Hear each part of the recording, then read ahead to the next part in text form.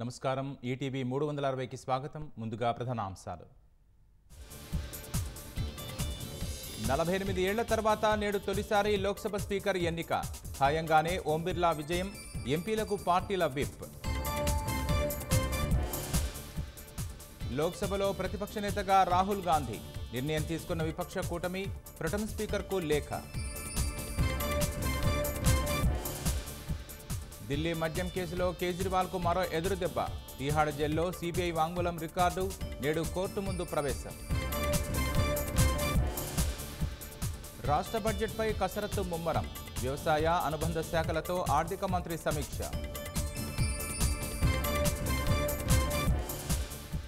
సాగులో లేని భూములకు రైతు బంధుతో ఇరవై ఆరు వేల కోట్లు వృధా. పటిష్ట విధానాలతో రైతు భరోసా అమలు చేస్తామన్న మంత్రి తుమ్మల.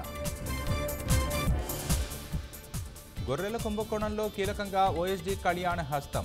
సన్నిహితుల ఖాతాలోకి లంచం డబ్బులు బదిలీ చేసినట్లు గుర్తింపు. కాళేశ్వరంపై విచారణ కమిషన్ గడువు పొడిగింపు. ఒకటి రెండు రోజుల్లో ఉత్తర్వులు త్వరలోనే బహిరంగ విచారణ.